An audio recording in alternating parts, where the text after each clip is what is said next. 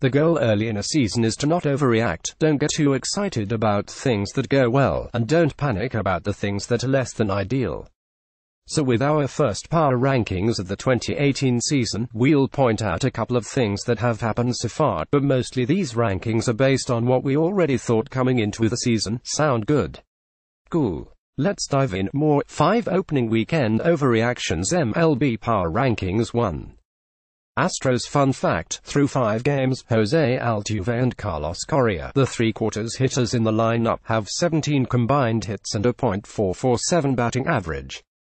Useful. Why they're here? The reigning World Series champs will spend most of the season in this top spot, barring disaster.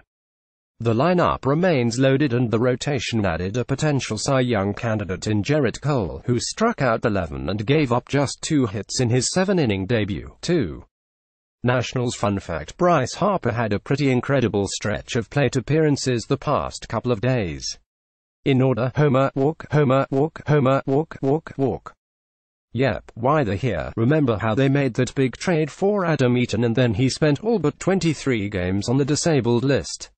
He's trying to make up for lost time, apparently.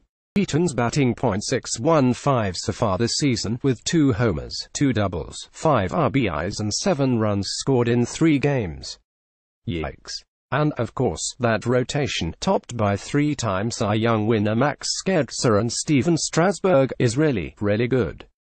Through four games, the Nationals starters have a 1.07 combined ERA. All four lasted at least six innings. 3. Indians fun fact, newcomer Yonder Alonso has more RBIs and runs, 5 each than any other Cleveland player has hit 4 tops. Why the here? Somehow Cleveland is 2-2 on the year despite losing a game that featured Corey Kluber throwing 8 innings and allowing only 2 runs, despite Carlos Carrasco's 7.94 ERA and despite that Francisco Lindor, Jose Ramirez and Jason Kipnis are batting a combined .1256 for 48. This team will be just fine. With that rotation, that bullpen and the division, the Royals, Tigers and White Sox are all in various rebuilding stages, Cleveland should easily approach 95 wins again in 2018. 4. Yankees Fun Fact Giancarlo Stanton isn't the only Yankee with a two-homer game in Toronto. Tyler Austin duplicated the feat with a pair of blasts on March 31st. Why the here? The top half of that lineup is fierce. Just ridiculous. The bullpen didn't always look great in Toronto, but it's stacked with hard throwers with impeccable track records. The rotation looked solid the first time through, though Sonny Gray needs to cut down on the base runners. More Aaron Boone paying no attention to early second guesses 5. Red Sox fun fact, David Price threw seven shutout innings in his 2018 debut, allowing just four hits and zero walks. In his 11 starts during an injury-shortened 2017 season, Price was better than that just one time. Why the here? Truth is, if Price is back to his Cy Young form and Chris Sale continues to do Chris Sale things, he gave up one hit and struck out nine in his, his six shutout innings, and Rick Porcello looks more 2016 than 2017. As he did in his first start, the Red Sox could take the AL East. That lineup is solid all the way through and the bullpen is too, as long as the Joe Kelly, Carson Smith game in Tampa was just a hiccup. 6. Dodgers fun fact. All four of the Dodgers games in the season opening series with the Giants involved a shutout. San Francisco won 2 by identical 1-0 scores, and the Dodgers won the 2 by combined 14-0 score. Why the here? The Clayton Kershaw rotation is really good. The unsung hero of the rotation, Alex Wood, picked up where he left off last year. Wood tossed eight shutout innings in his season debut, allowing only one hit, after allowing one or zero runs in 13 of 25 starts last year. Yes, Kenley Jansen has looked human. That's worth watching, though his track record speaks for itself. Fair to wonder how long Matt Kemp is going to be a starter in left field. 7. Diamondbacks fun fact, through four games, Paul Goldschmidt has a .083 batting average, tied for 194th of 213 qualified hitters but a robust .450 on-base percentage tied for 37th. Why the here? The Diamondbacks brought most everybody back from their 93-win team, aside from trade acquisition J.D. Martinez, of course, and they're expected to be back in the playoff mix again this year. The biggest question, do they have the pitching to compete with the Dodgers for the NL West title, or are they more likely to wind up in the wild card game again this fall? 8. Mets fun fact, maybe not a fact but an observation, Jacob deGrom without long hair still looks odd. Why the here? This team has pieces necessarily to compete for a playoff spot. They won't challenge the Nationals and the 100-ish wins it probably will take to win the division, but getting to the 85 to 88 range for a possible wildcard spot. That could happen. The key is what they get out of the rotation behind Noah Syndergaard and Jacob deGrom, a group that includes Steven Matz, Matt Harvey and Seth Lugo. 9. Cubs Fun fact, the Cubs have struck out 58 times in five games, a couple of extra inning contests added at bats, and that's an NI record for most Ks in the first five games of a season. Why the here? The strikeouts are troubling. The Cubs are one of the few teams that have moved down a couple of spots from where they would have been before the start of the season. It's not just the strikeouts, of course. It's fair to wonder what they'll get from opening day starter Jon Lester, who saw some of his numbers drop precipitously from 2016-17 5.6 RWAR to 0.7 RWAR, for example, and failed to get out of the fourth inning against a Marlins lineup that isn't exactly packed with all-stars anymore. 10.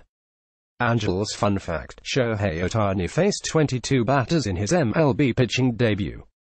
Only three managed hits off him, but they came back to back to back, a single, a single and a three-run homer. Why they're here? The Angels are kind of a fascinating team. They have Mike Trout, of course. And now they have Ohtani, with all eyes on him. But that rotation is really intriguing. They've been plagued with pitching injuries the past couple of seasons, and now those guys are finally pretty much all healthy and back in the mix. If those starters stay healthy, the rotation will be solid and deep. If they don't, wouldn't be stunning to see them miss the playoffs again, for what would be the sixth time in Trout's seven full MLB seasons. 11. Cardinals fun fact, with three homers already this year, shortstop Paul DeJong, who signed a contract extension this spring, now has 28 in 112 career MLB games. Why the here? The pitching staff has more high upside guys than sure things at this point in the season. In the rotation, Luke Weaver is entering his first full season as a MLB starter, and Miles Mikolas is back in the bigs after a couple of very successful years in Japan. In the bullpen, rookie Jordan Hicks has electric stuff, and Alex Reyes does, too, though he can't come off the 60-day DL until late May. If everything works out, this team is capable of winning the NL Central 12. Rockies fun fact, the Rockies lead MLB with 10 homers in the first four games but they've yet to play in Coors Field. Why they're here? That lineup is really good, and that rotation is full of youngsters back for another go-round after exceeding expectations in 2017. And we all know how much money the front office spent this offseason to fortify the bullpen. Want a dark horse division winner candidate? Think about the Rockies, 13. Brewers fun fact, random and meaningless, but through four games Christian Yelich and Travis Shaw have identical .389 batting averages and .421 on-base percentages. Why the here? Lorenzo Cain has reminded Milwaukee fans why they were so excited he signed as a free agent. He has a .500 average, 9 for 18, with a homer, 4 RBIs and 3 stolen bases so far. For the Brewers, a potential spot in the playoffs is all about pitching. Is the rotation deep enough, and is the bullpen behind Corey Knebel good enough? 14. Blue Jays fun fact, a year after Justin Smoak's long-awaited breakout, 38 homers, .883 ops, the switch-hitting first baseman leads the majors with 8 RBIs. Why the here? This team didn't get a ton of positive headlines in the offseason, most centered around the should they trade Josh Donaldson question, but there aren't many, any glaring weaknesses. They have a solid rotation, a solid lineup, and the makings of a solid bullpen. Don't sleep on the Jays. 15. Mariners fun fact. This isn't really a fun fact but it's a fact. The Mariners own the longest playoff drought in MLB. Last playoff trip in 2001. Why the here? Maybe this will be the year the drought ends.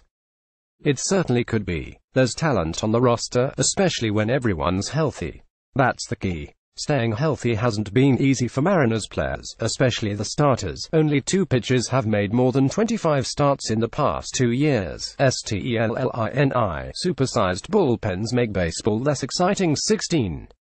Twins thought starters Jose Berrios, Kyle Gibson and Jake Odorizzi have combined for 21 shutout innings so far, and those three have only allowed 5 hits so far. 17. Phillies thought that opening series in Atlanta was rough. Gabe Kapler has a lot of eyes on him as he learns on the job as a major league manager. 18 I thought want a really dark horse playoff contender. The A's have more talent on this roster than you probably realize. The young Matz, Chapman and Olson are damn good. 19. Pirates thought, know how you reach the playoffs. You beat the teams you're supposed to beat, and you win at home.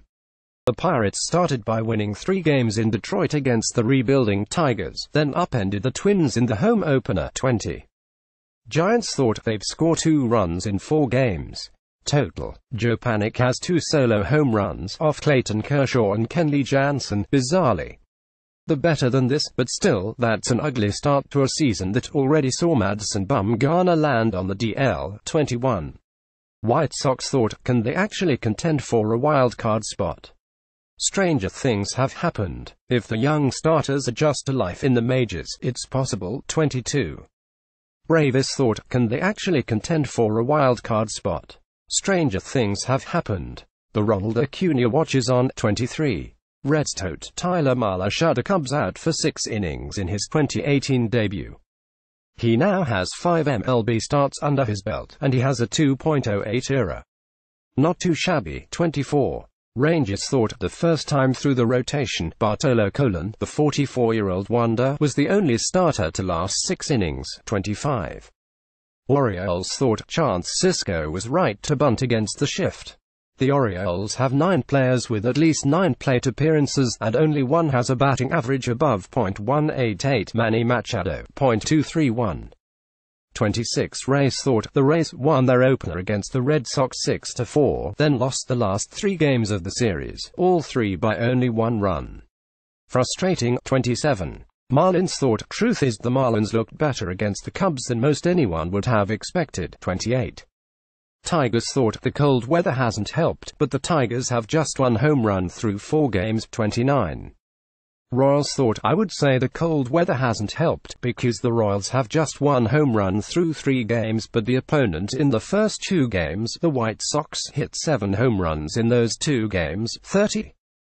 Padres thought, not just 0 to 4 so far this season, but 0 to 4 at home. Not ideal.